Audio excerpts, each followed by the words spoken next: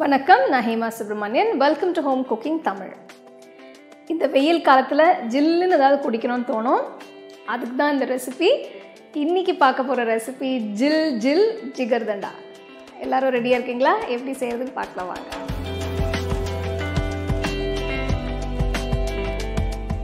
இதுக்கு முதல்ல ஒரு கப்பில் ரெண்டு மூணு துண்டு பாதாம் பிசின் போட்டு அதில் நிறைய தண்ணி ஊற்றி ஒரு எட்டு மணி நேரம் ஊற வைக்கணும்.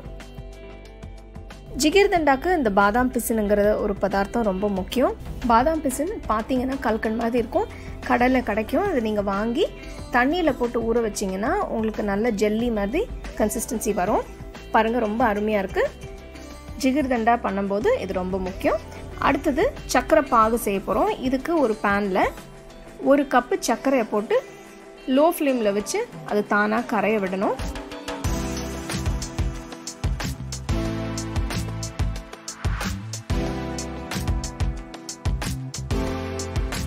பார்த்தீங்கன்னா சர்க்கரை நல்லா கரைஞ்சிருக்கு. ஒரு நல்ல ஒரு ப்ரௌன் கலர் வரும்போது ஒரு கப்பு தண்ணி ஊற்றி நல்லா அதை கொதிக்க விடுங்க.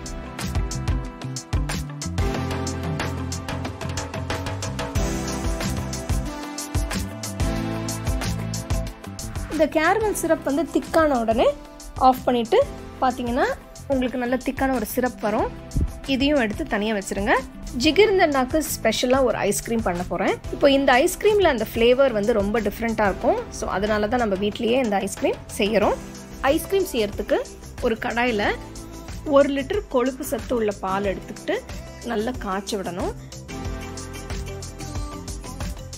இருபது நிமிஷம் கழித்து பால் நல்லா திக்காக இருக்குது இதில் நூறு கிராம் பால்கோவா போட போகிறேன் இது வந்து சமையலுக்கு யூஸ் பண்ணுற பால்கோவா சர்க்கரை இல்லாத ஒரு பால்கோவா கடையில் கிடைக்கும். அது வாங்கி நீங்கள் இந்த ஸ்வீட் செய்கிறதுக்கெலாம் யூஸ் பண்ணிக்கலாம். இந்த கோவாவை பாலில் போட்டு நல்லா மிக்ஸ் பண்ணிங்கன்னா நல்லா கரைஞ்சிடும் இது ஒரு பத்து நிமிஷம் கொதிக்க விடுங்க. பத்து நிமிஷம் கழித்து பார்த்தீங்கன்னா இந்த கோவா போட்ட பால் நல்லா திக்காக இருக்குது இதுலேருந்து ரெண்டு கரண்டி எடுத்து ஒரு போலில் போட்டு வச்சுக்கோங்க தனியாக இப்போ நம்ம ஜிகிருதண்டா ஐஸ்கிரீம் செய்ய போகிறோம் கோவா போட்ட பாலில் முக்கால் கப்பு சர்க்கரை போட்டு நல்லா மிக்ஸ் பண்ணிவிடுங்க ஃப்ளேமை ஒரு மீடியமில் வச்சுட்டு ஒரு கப்பில் ரெண்டு டீஸ்பூன் கார்ன்ஃப்ளார் ஒரு டேபிள் ஸ்பூன் பாலில் அது மிக்ஸ் பண்ணி வச்சுருங்க. பாலில் கரைச்சி வச்ச கார்ன்ஃப்ளாரை இந்த கொதிக்கிற பாலில் போட்டு நல்லா கிண்டி விடணும்.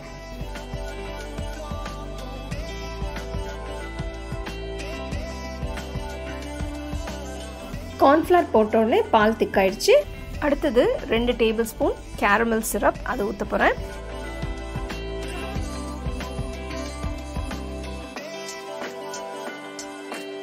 இப்போ இந்த சிரப் ஊற்றின உடனே பார்த்தீங்கன்னா கலர் இமீடியட்டாக சேஞ்ச் ஆகிருக்கும் ஒரு நல்ல கோல்டன் ப்ரௌன் கலர் வந்திருக்கு.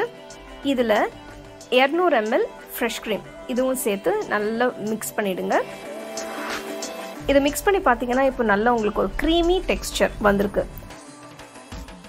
இதை ஆற விட்டு ஒரு சின்ன டப்லியோ இல்லைன்னா பவுல்லையோ ஊற்றி ஒரு பத்து மணி நேரம் இல்லைன்னா பன்னெண்டு மணி நேரம் ஃப்ரீசரில் வைக்கணும்.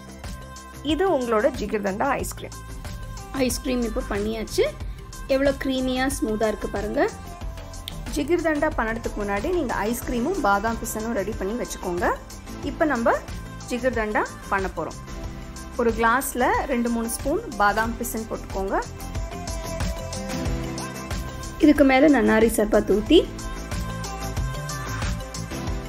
கோவா போட்ட திக் பால் கொஞ்சம் ஊற்றி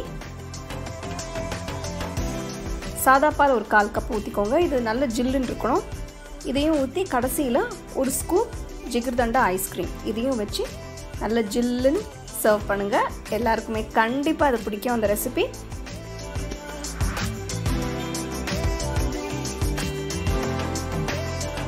ஸோ இந்த மதுரை ஸ்பெஷல் ஜிகிர்தண்டா நம்ம வீட்லேயே செஞ்சு குடிக்கலாம். ரொம்ப அருமையான ஒரு ரெசிபி கண்டிப்பாக ட்ரை பண்ணி பாருங்கள்